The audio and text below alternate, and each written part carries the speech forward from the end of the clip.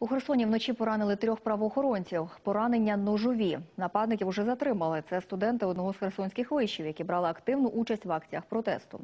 Про це повідомили в обласному управлінні міліції. Двоє правоохоронців у реанімації у важкому стані. Мотиви злочину з'ясовують.